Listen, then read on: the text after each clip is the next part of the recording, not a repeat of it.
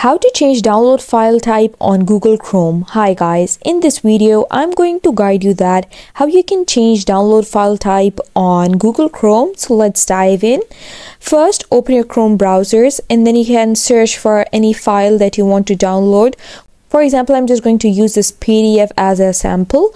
So just type in the file name and then you can just choose any images if you want. And now you have to just right click on the image and then click save image as. Now it opens this menu for me. Now you have to save as type over here in this menu. You have to just choose the type of file that you want. You can choose all files, you can choose this, or you can just go back and click save.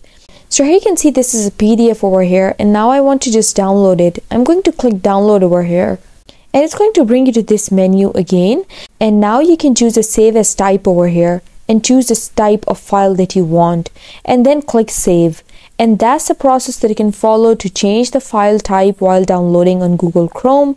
I hope you found the process easy and liked my video and if you did please don't forget to like and subscribe my channel. Thank you very much. See you again.